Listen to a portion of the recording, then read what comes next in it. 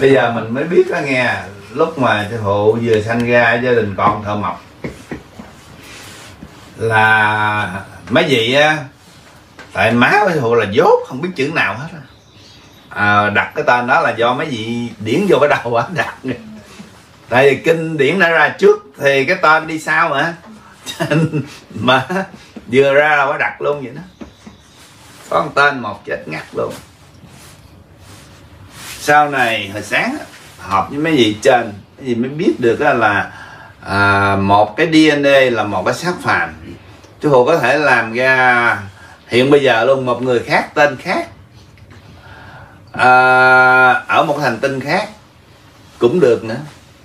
Có những lúc á, cùng một hành tinh mà song song hai người. Nghĩa là chiếc thân hai hai hai người cùng một lúc cũng có được nữa mấy vị trên làm được. Thời nay cũng có nhiều vị bồ tát làm vậy cũng được.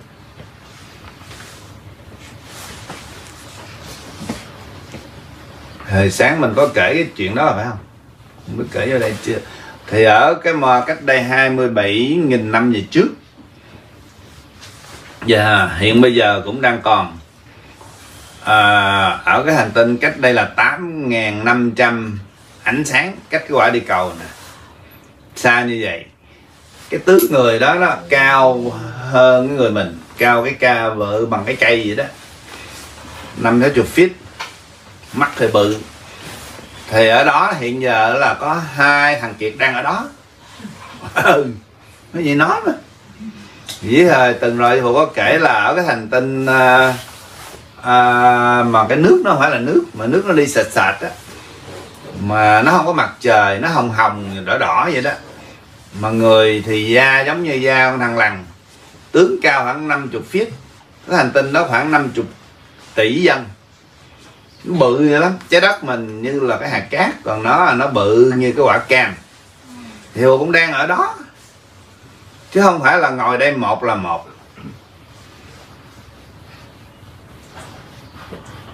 Nhưng ở trên trời, trên thiên đình á cũng có thái tử thiên nhãn đang ở đó đang cũng đang sinh hoạt ở trên đó. Còn dưới đất thì cũng đang đầy đây. À, vậy nó mới ngộ.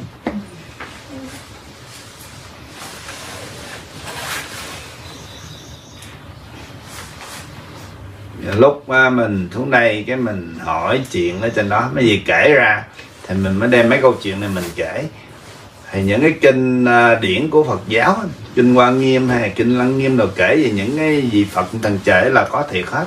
Tại vì à, con người của mình không có tưởng tượng ra được. Cũng giống như à, à, trong cuốn kinh Thiên Tâm của mình á làm sao mỗi vị vị Phật mà ngồi một cảnh bông sen được Dạ. đúng không? À, có đó